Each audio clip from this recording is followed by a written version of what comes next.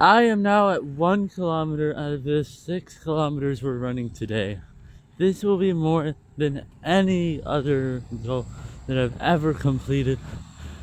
And I'll make a video for each one kilometer. And so I'll have six videos. I am now two kilometers into this journey. And this took me 20 minutes.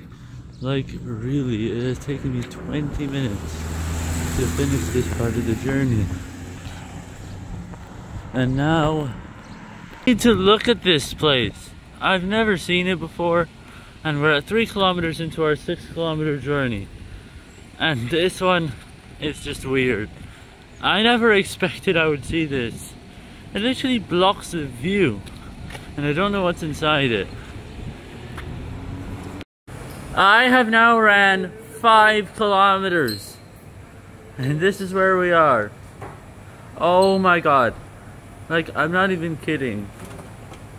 I have ran five kilometers out of six kilometers that we're running. This is the final video of our journey.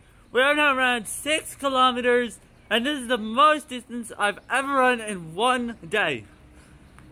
I might even run in the evening which could be up to 12 kilometers, assuming we run another 6 kilometers, and that would be a lot for one day.